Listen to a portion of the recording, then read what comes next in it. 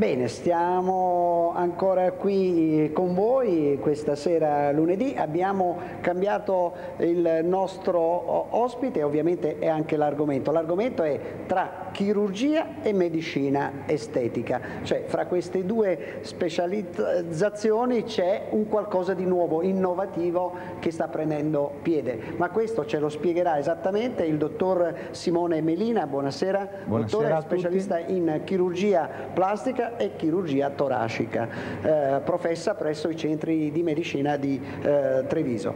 Allora, tra chirurgia e medicina estetica, intanto cerchiamo di capire quali sono le differenze, dottor Melina, eh, la chirurgia estetica e la medicina estetica, perché qualcuno ancora non riesce a capire le due differenze, anche se il nome già, la chirurgia invasiva è un intervento chirurgico, la medicina è un qualcosa che si cura con dei farmaci. Prego.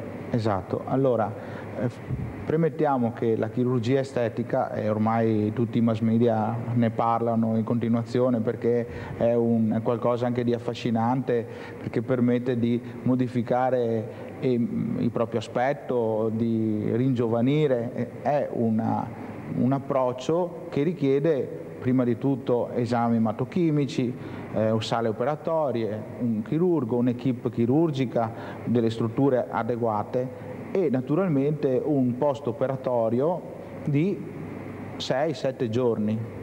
Quindi da un punto di vista, oltre ad avere un costo anche importante, diventa una cosa impegnativa.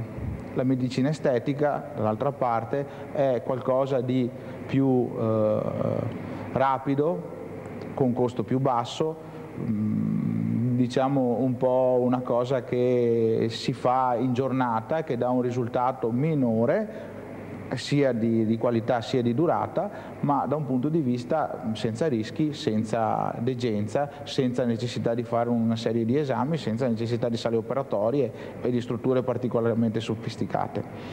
Eh, questa nuova richiesta che è comparsa un po' di anni fa eh, richiede mh, una chirurgia che eh, non è invasiva, è una medicina estetica che non è diciamo, anche questa superficiale, quindi stiamo esattamente a metà e queste persone possono avere dei risultati che non sono definitivi come nella chirurgia, ma nello stesso tempo neanche temporanei, di breve durata come la medicina estetica. Ecco, eh, andiamo un po' a specificare, appunto, se uno fa un intervento chirurgico, diciamo, lo fa quasi per tutta la vita, no? quindi eh, se uno mette una protesi a meno che non ci siano delle problematiche, uno se l'è impiantata e se l'è messa eh, costantemente. La medicina eh, invece ti può risolvere il problema magari per un, qualche mese, possiamo dire, invece queste nuove tecniche ti risolvono il problema senza intervento chirurgico, se ho capito bene,